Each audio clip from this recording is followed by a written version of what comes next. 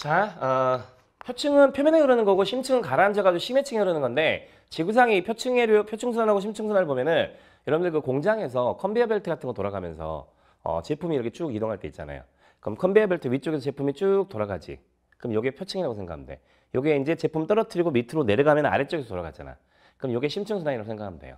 그럼 요게 다시 올라가면은 위쪽 컨베이어 벨트로 연결이 되죠.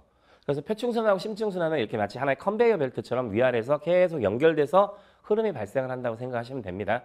자, 그러면은 선생님이 파란색은요 심층순환이라고 한번 해볼게요. 자, 심층순환은 앞에서 얘기했던 대로 이렇게 북대서양의 그린란드 부근에서 한 번, 그리고 여기 남극의 웨데레 부근에서 하나 가라앉아요.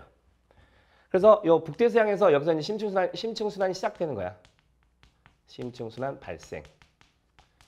심층순환이 발생하면은 북대서양 심층순환 앞에서 여기서 그린란드 부근에서 가라앉아가지고 남쪽으로 이동한다 그랬잖아요. 그러니까 이 남쪽으로 쭉 이동을 해와요. 여기서 가라앉는 거랑 같이 연결돼가지고 심층순환이 쭉 이동해 갑니다. 이동해 가다가 여기 인도양에서 한번 위로 솟구쳐 올라와요. 이걸 우리가 다음 단원에 용승이라고 공부할 거야. 용승. 그러니까 위로 솟구쳐 올라오면 여기 이제 표층에서 이렇게 연결이 돼요. 그리고 쭉 이동하다가 여기 태평양의 적도 부분 있지. 여기서도 한번 위로 솟구쳐 올라옵니다. 그래서 여기서도 한번 용승이 일어나요. 용승.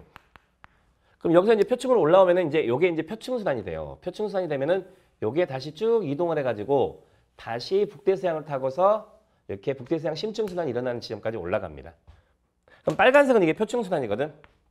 표층순환. 그러면 이렇게 표층순환하고 심층순환이 연결되는 거 아까 얘기했던 것처럼 요 빨간색이 컨베이어 벨트의 표면에서 돌아가는 거.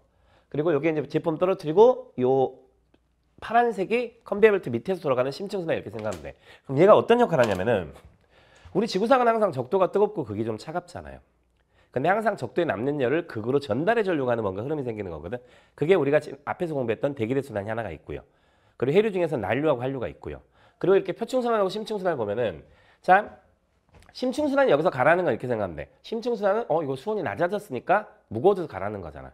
그래서 이게 심층을 따라 쭉 이동하다가 올라오는 지역들이 되게 저위도 지역들이야. 그럼 저위도에서 위로 솟구쳐 올라와가지고 이게 표층순환으로 연결이 되면서 저위도에 열을 가지고 오는 거야. 그럼 이, 얘네들이 이제 표층순환이 연결되면 열을 가지고 쭉 고위도로 가가지고 표층순환이 어디까지 가? 심층순환이 발생하는 고위도 지역까지 이동을 하잖아요. 그럼 얘가 고위도 지역으로 열을 전달해주는 역할을 하는 거야. 그럼 열을 전달해줬으니까 이게 식을 거 아니야. 그럼 또 무거워지니까 얘가, 얘가 그 무거워지니까 밑으로 가라앉아가지고 심층순환으로 연결이 돼가지고 그러니까 심층순환하고 표층순환은 계속 연결이 돼서 둘 중에 하나가 약해져 버리면 다른 거 하나도 약해집니다. 그리고 또 어떤 게 있냐면 이렇게 용성이 일어나는 지역 있잖아. 용성이 일어나는 지역은 우리가 그때 난류하고 한류에서 한번 얘기했던 건데 어, 플랑크톤들의 먹이가 되는 물 속에 있는 염류들을 우리가 영양염류라고 얘기하는데 영양염류는 되게 가만히 놔두면 밑으로 가라앉습니다. 여러분들 흙하고 물하고 섞어가지고 막 흙탕물 만들잖아.